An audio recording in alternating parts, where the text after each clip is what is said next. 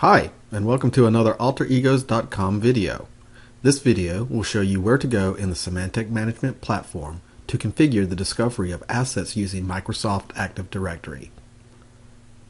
To access the Microsoft Active Directory import page from the console, use the following menu. Actions, Discover, Import Microsoft Active Directory.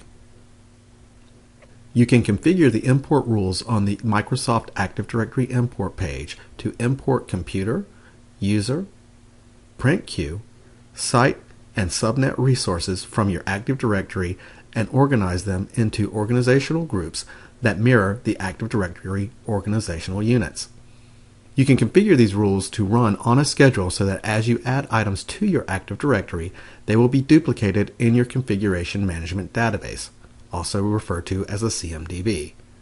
There is also an option to delete import items and resources that no longer exist within the Active Directory.